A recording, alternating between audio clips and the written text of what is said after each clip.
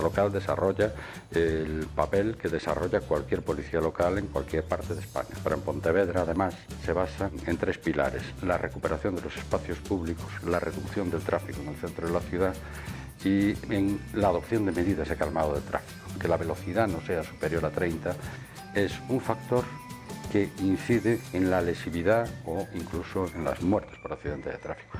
Pero la velocidad también incide en el nivel de ruido y incide también en el grado de contaminación.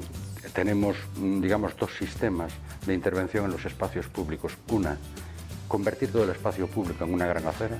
El siguiente paso es dinamizarlo, llenarlo de gente. Si tú lo llenas de gente, los coches se van a reducir muchísimo. Eso, ayudado por otras técnicas, nos lleva a unos eh, porcentajes de disminución del tráfico del 95% en el centro histórico y del 77% en el centro de la ciudad. Es decir, se ha reducido mucho el tráfico, se ha mejorado mucho la calidad del aire, no hay prácticamente ruidos. Te aseguro que en Pontevedra puedes escuchar los pájaros.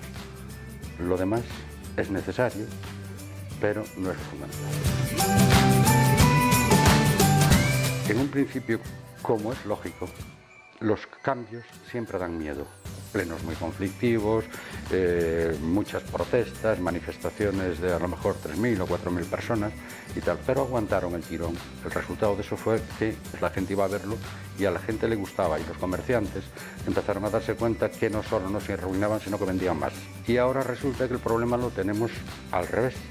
Es decir, todo el mundo quiere que le peatonalicen su calle, pero claro, el problema es que tampoco lo puedes peatonalizar todo porque las ciudades necesitan un mínimo de tráfico, que es lo que nosotros llamamos tráfico de necesidad, que es perfectamente compatible con el uso prioritario por los peatones del espacio público. Prácticamente todo el centro de la ciudad eh, ha sido tratado o bien con eh, recuperación de espacio a través de plataformas únicas o en las restantes vías se han ampliado aceras a 3 metros y medio, 4 metros a ambos lados y se ha dejado un único carril de circulación. Y ese proceso está ahora ya en los bordes de lo que es, de lo que es la ciudad.